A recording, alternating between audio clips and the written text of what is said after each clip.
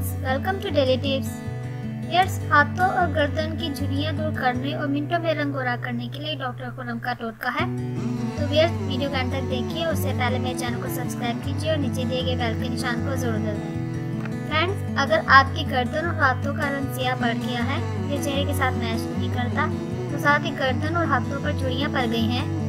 तो व्यर्स आज हम आपके साथ डॉक्टर खुरम का बेहतरीन मास्क शेयर करेंगे।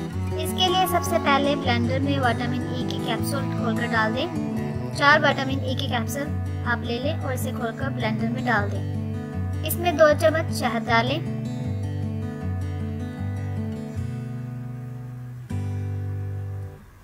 और तीन चम्मच नारियल का तेल डालें। चंद कतरे लिवेंडर का तेल। आधा कप नार का रस डालें।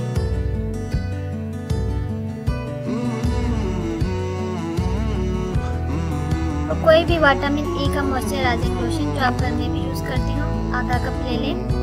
मक्खन की एक छोटी टिक्की डालें।